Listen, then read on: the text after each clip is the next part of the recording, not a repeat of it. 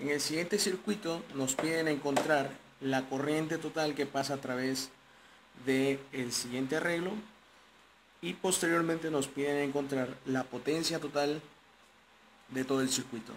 Para ello vamos a identificar primero que las resistencias las tenemos totalmente en serie.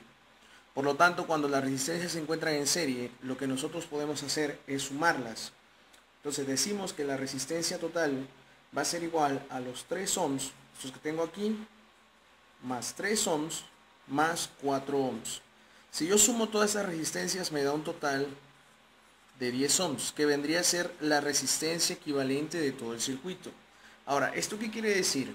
Lo que quiere decir es que todo este circuito donde yo tengo tres resistencias, lo puedo simplificar aún más solamente colocando mi batería, que es mi fuente de alimentación, y una resistencia por acá, que bien, eh, en este caso está en serie, ¿no?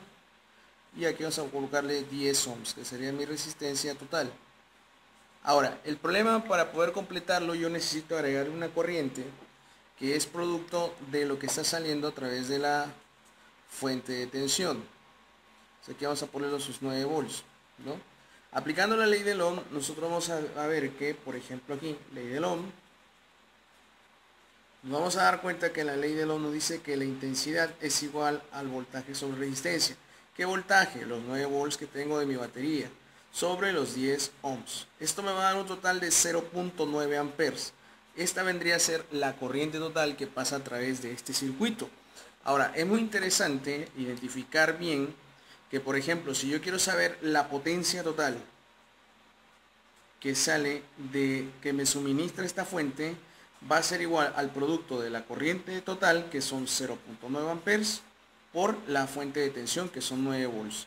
Si yo hago el producto de 0.9 por 9, me va a dar un total de 8.1.